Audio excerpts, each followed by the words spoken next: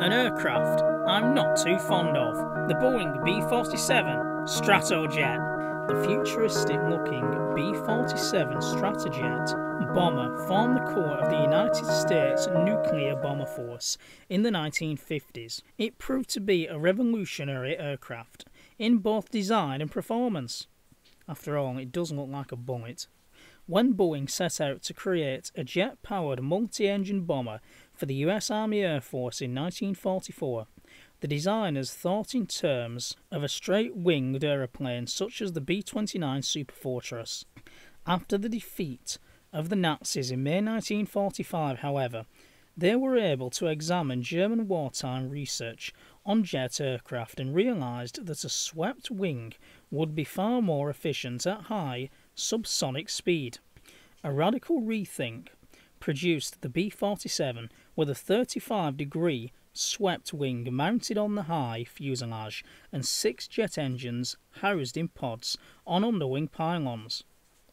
The bomber initially also had 18 rockets in the fuselage for assisted takeoff to blast it into the air when fully laden with the bombs and fuel a drag parachute deployed to slow the aircraft on landing.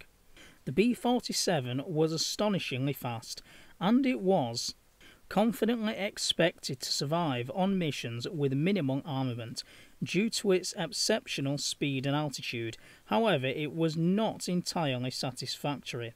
Since it lacked the intercontinental range to carry out a strike on the Soviet Union directly from bases in the United States, this problem was eventually solved by the introduction of in flight refueling.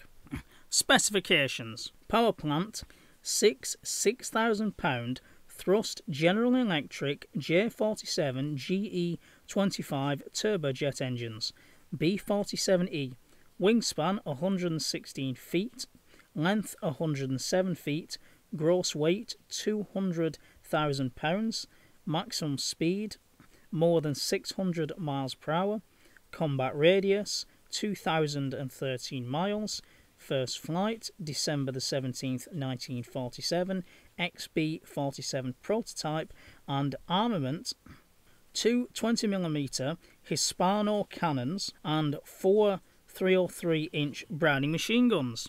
And I believe the crew was three. Plus, of course, they used it for electronic warfare as well so you had about four or five technicians on board, but we're going to do that in an updated video. Sadly, no country by country for this video because only one Air Force used it, which was of course the United States Air Force. So the aircraft's first flight was the 17th of December 1947, introduced in 1951 in June of that year, retired 1969, the model B47E and the EB47E, that would have been the electric warfare aircraft, was retired in 1977.